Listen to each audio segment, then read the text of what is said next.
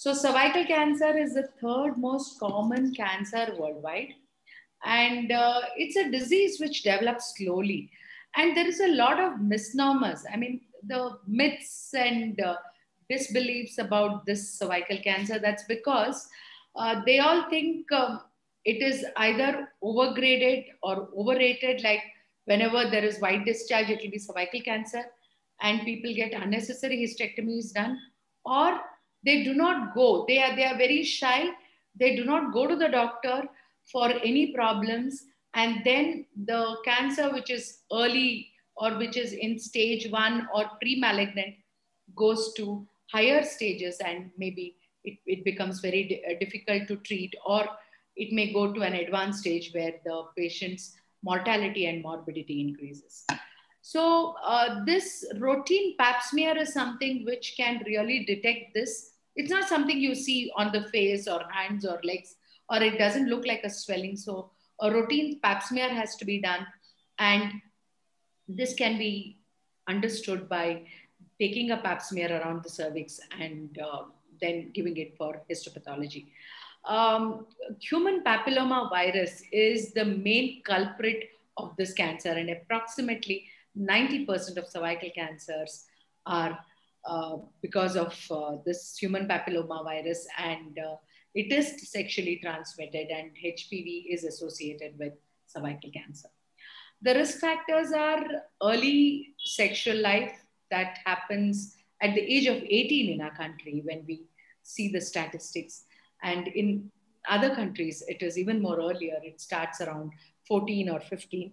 And um, um, infected person can transmit the disease.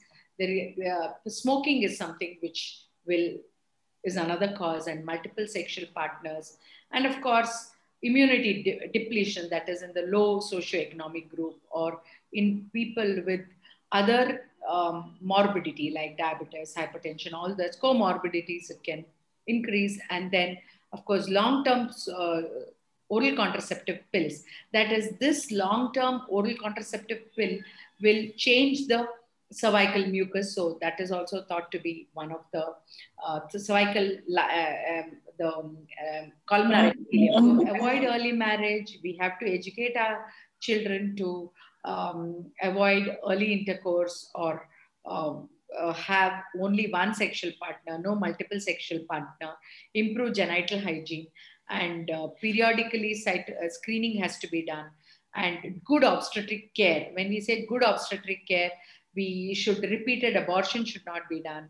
Uh, proper delivery, that is, when we do forceps and all that, we have to see to it that it is sutured properly and avoid smoking and no harm in pregnancy. That is, when we say no harm in pregnancies, one is repeated abortion should not be done. Second thing is in the, during delivery, if there is a cervical tear, if there is a forceps delivery, all these things can cause problems. So I think we should see to it that we avoid all those things. So vaccination, vaccination, you have to take three shots over six months. Uh, males also they are giving now because they harbor the HPV vaccine. Uh, females, of course, at the age of mm, uh, 11 to 12, they say in India we can give uh, 14 up to 14 years and uh, up to 26 years, they say, but it can be given up to 45 years. So HPV vaccine, it's prophylactic cervical cancer vaccine, which targets the 16 and 18 HPV virus, and it is globally available in two vaccines, that is uh, Cervarix and Gardasil.